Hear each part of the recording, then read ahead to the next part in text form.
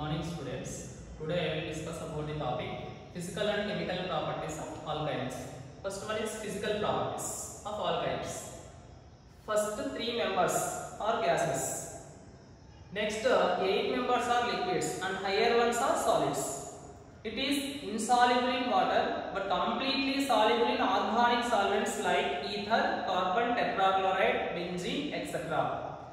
Melting points and boiling points increases due to increased molecular weight or carbon chain increases. Next chemical properties. Chemical properties are classified into four types.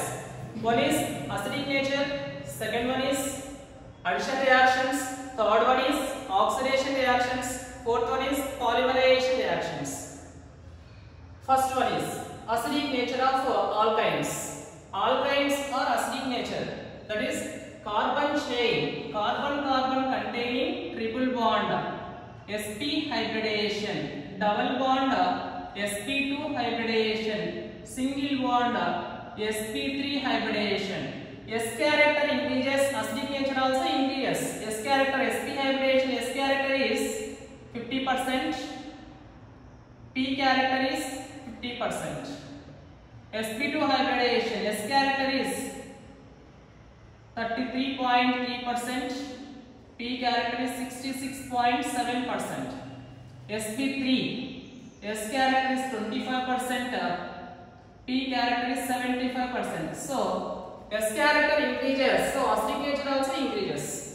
Next reaction with uh, liquid ammonia and uh, sodium.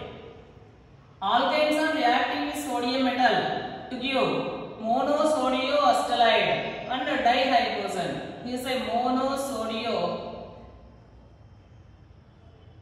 acetylide. These monosodio acetylide and further reacting with sodium metal to give disodio acetylide. This method is used in preparation of higher member of alkynes. Next second method, reaction with ammonical cuprous chloride. Alkynes are reacting with cupric chloride or cuprous chloride and ammonium hydroxide to give a red PPT of alkyne and ammonium chloride water. Next reaction with Tollens reagent. What is a Tollens reagent? Ammonical silver nitrate. Ammonical silver nitrate Tollens reagent.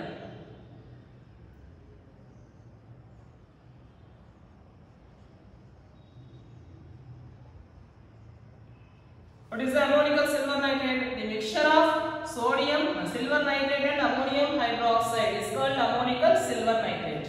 That is alkynes are reacting with uh, Tollens reagent to give a white PPT of alkyne. White PPT that is precipitate of alkyne. Next addition reactions.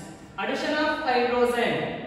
Alkynes on hydrogenation that is ethyl on hydrogenation in presence of nickel catalyst to give ethene. This ethene on further hydrogenation in presence of nickel catalyst to give ethane. That is alkynes is converted into alkenes. These alkenes on further hydrogenation to give alkanes. Next one.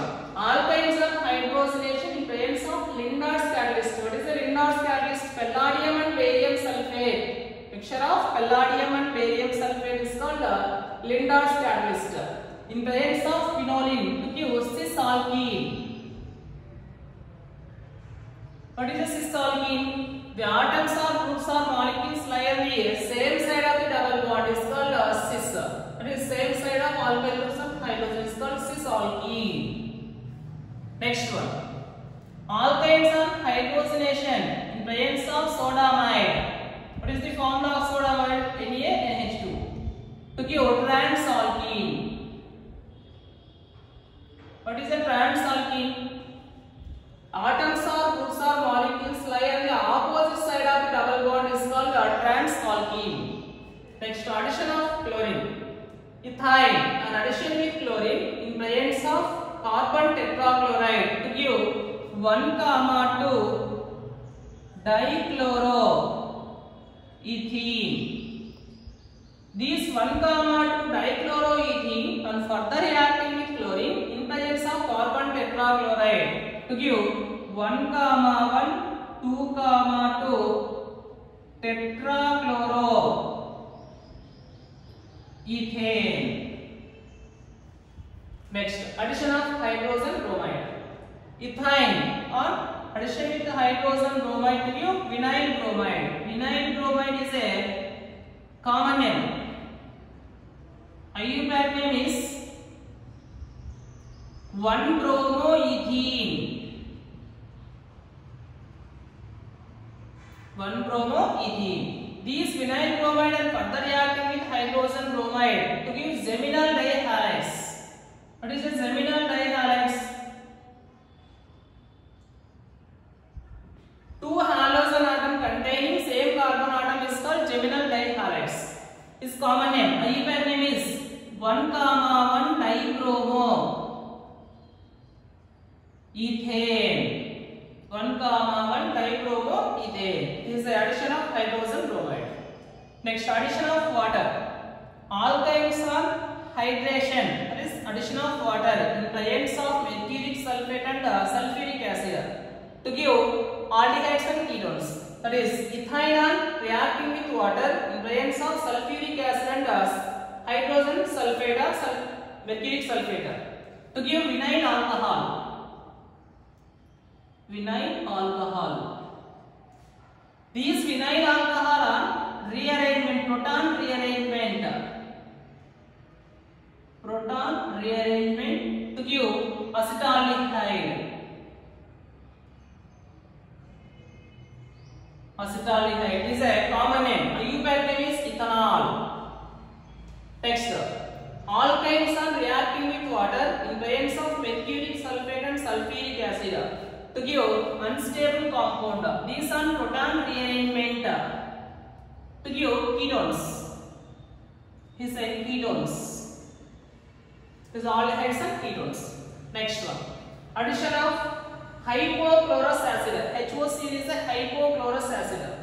Ethyl are reacting with hypochlorous acid to give unstable compound. These unstable compound are heating. That is elimination of water molecule to give 2 comma 2 dichloro ethanol. 2 comma 2 dichloro ethanol. Next addition of hydrogen cyanide. Ethyl are reacting with hydrogen cyanide barium cyanide to give vinyl cyanide. Vinyl cyanide is a common name. IUPAC name is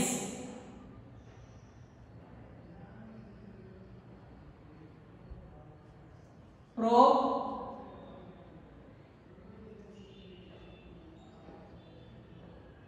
two E nitrile